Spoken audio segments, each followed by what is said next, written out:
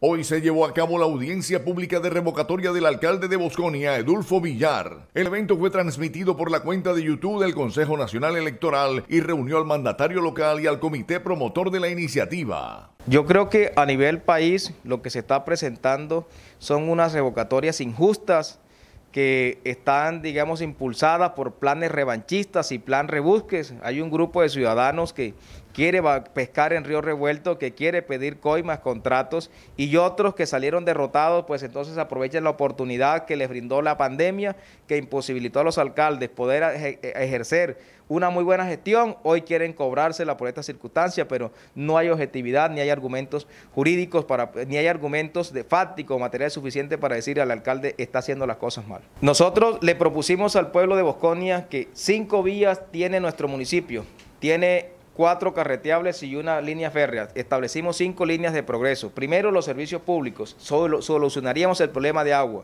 En tan solo un año ya tenemos un pozo construido próximo a inaugurar. Estamos haciendo las gestiones para comprar dos predios más y con eso tendríamos cuatro pozos y le daríamos solución definitiva al problema de agua en el municipio de Bosconi. Le prometimos que trabajaríamos por la seguridad y hoy tenemos 50 muchachos que hacen parte de los comités de seguridad ciudadana vinculados y comprometidos con la seguridad porque nuestro pie de fuerza es insuficiente. Le prometimos a nuestros bosconenses que le traeríamos la universidad y hoy es un sueño, es una realidad. Tenemos la sede del ESAT en nuestro municipio con casi 700 personas inscritas, no solo del municipio de Boscones, sino de toda la región.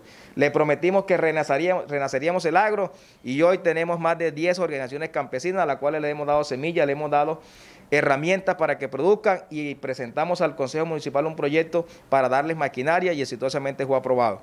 Yo creo que todas las líneas que le prometimos las estamos cumpliendo, por eso creo que es injusta y además infame una revocatoria en estas condiciones cuando estamos dando los resultados muy a pesar de la pandemia.